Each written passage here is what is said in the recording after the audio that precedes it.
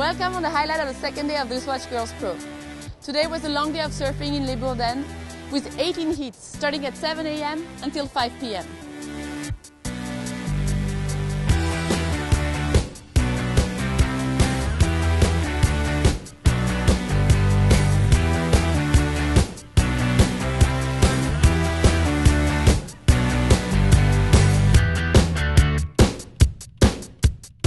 biggest upset of the day was the elimination of some of the favorites, like Coco Ho, who got second at the event last year, and the French girls who were at home, Lee Ann Curren and Pauline Ado.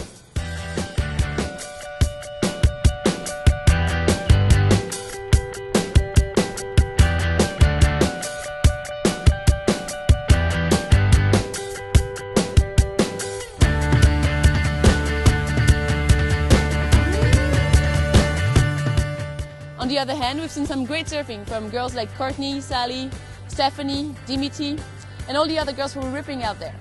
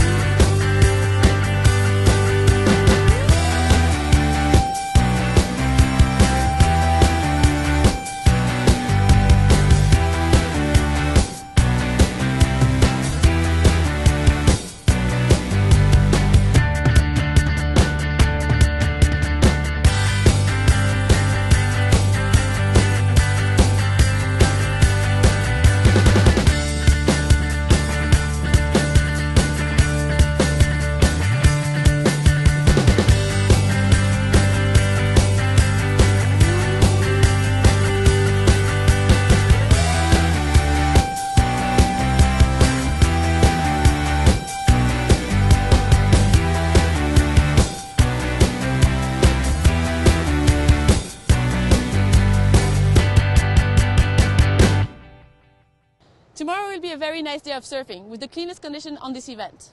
So be ready at 7 a.m. for the start of the live. I'll see you then.